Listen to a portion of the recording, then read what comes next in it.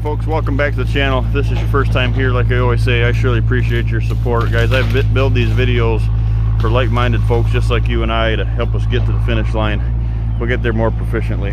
And this today, perfect example here on the farm, guys. What we've got is we're building, um, promoting a bench. The bench is, or the trail is already here per the contour line, but when you go to mulch it, with a mulcher, the object is is one to keep your mulcher safe, right? To guide the operator in the mulcher, skid steer mulcher. Some stretches are just too steep. If they're too steep, you got to cut them in my hand. So the object is is to go through and level these areas out. Um, now, I say that with caution because every time that I seems like I say that, folks just want to use the hydraulic power to do their all their transition, and that's not what you want to do. We're not building a road, and we're surely not, um, you know, making a mess, right? We're trying to make it better. So here today, today the, the topic that we're going to touch on today, guys, is this. If you are in hill country and you have a contour line that you need, that your transition falls right on, you need to mulch that out so you don't have to hand cut it out in the future by hand, right? You might only have to do that once every three years, uh, depending on where you're at in the you know whitetail range further south you go, you might have to mulch it every year. Here in Kentucky, I'm probably going to mulch mine every two to three years. So here's here's the trick: is if you're in ridge country and you have that transition, or hill country and you have that transition, and it gets too steep. So what you want to do is you want to work in combination with your mulcher. So what I do, guys, is I put this little mini a, a, mini of that size. This is a little Kato. It's like a Kato 35 or something, but it's a little on the small side. I would recommend like a 12, 10, 10 to 12,000 pound uh, machine. Thumb on it, and they have a blade on the front of them. What you do is you work in combination with your mulcher. So what you do, guys, is you put the mulcher in the front, and he mulches out the, the transition. You know, if you're on flat ground, you might not have to have the the uh, mini but what you do is you mulch it. You mulch that transition out a real windy snake trail.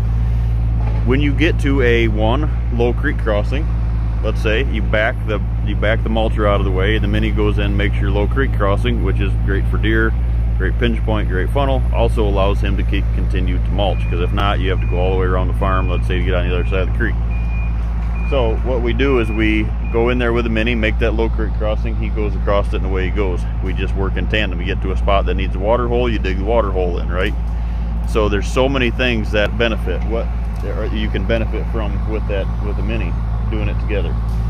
On the bench part of it here on the in the hill and on the ridge, what we're doing is is we are on this ridge that is a dynamite piece of the farm and it's just too steep to get the mulcher on. So what we do is we go in and I took the, I actually I'll show you at the back here, I had a little John Deere uh, 450G, an older one that my neighbor's got, and we benched this in just eight feet wide. Now you go around that corner right there and it's not benched because it's flat enough, right?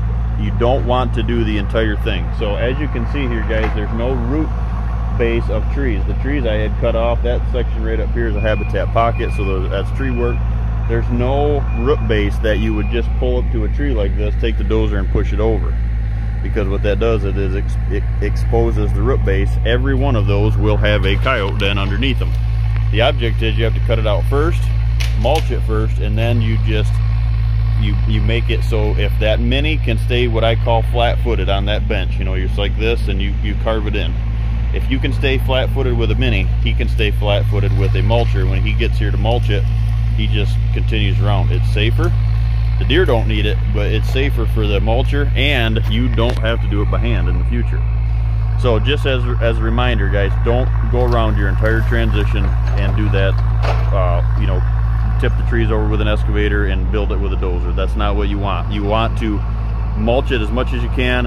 Use the use the a mini excavator when you need to. So we do exactly what we're doing here with the mini. We had mulched it. I mulched it to this point last year. This was he mulched it to here, so you know I could have I could have maybe left this the same because Paul, my mulcher, already mulched it. But to, to make the to make it safer and faster, I just took the dozer in because I knew I had to get the mini to here.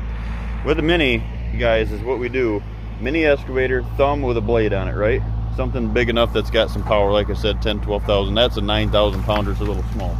But what you do is he's going in and he's taking the dirt from the top side because the slope's like this. He's just taking the dirt from the top side. I had a tree down here he's cleaning up right now, but top top side, you know, you bring that dirt to you and then you put it in your left track. So that if it's like this, you're it's steep, you take it out of your right track, you put it in your left track, compact it in, and then that keeps the machine level. So we're cutting this bench in like this. It's not with a huge dozer. It's not, we're not building a road. What this will do, guys, is it keeps that machine flat-footed and when that mulcher comes here to mulch, he can go buzz right through here. As you can see, this is an intersection. Licking branch right in it, stand up above it, AM sit, licking branch right here. I have some leveling out after this to do. And then this goes out right into the center of two food plots, out into our, our ag is above it with my food plots right both sides right there goes down Low Creek crossing right below it right here that you seen that we cut in.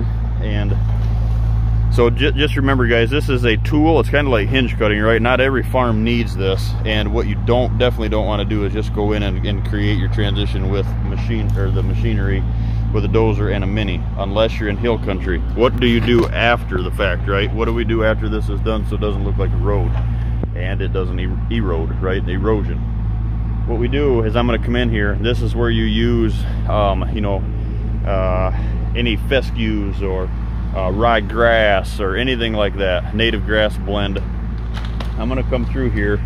I'm actually working with one of these blends right now um, with John Comp with, with uh, and how to reclaim these roads. I don't reclaim these logging roads, let's say guys with clovers and brassicas and, and anything like that. It's not a food plot. We just want to reclaim it in other words to to put something on it. Next year when the leaves fall you'll never be able to see the dirt right? But right now we want to reclaim it so this this spring when we get these rains doesn't wash it out. So that's that's what you do guys is we're cutting this in. This stretch through here I had to cut it out last year by hand. The deer were using it. Like I said this is not for the deer this is for us.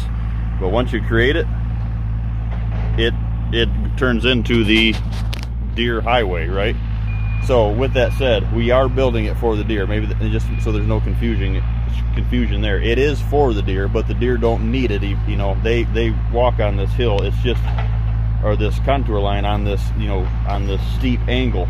But for us to be able to mulch it and to make be proficient with a mulcher when he's here, it's eighteen hundred dollars a day, right? Though you don't want them, you know, waiting for you to cut a trail out ahead of them or anything like that and you do not want anybody to get hurt. That's why I do these. After we get these done guys this is not our access trail. There's no four-wheelers. There's no more machines. There's nothing on it. After I come in and reclaim it and I plant it we are it's deer and deer only. It's their trail their bench. It'll be here forever. My kids my grandkids their kids this bench will always be here. But like I said you go up here around the corner the rest of it's mulched and it, we might go halfway around the farm and and which mine has about you know a quarter of the farm is actually had to be done this way. The rest of it I was able to just mulch it.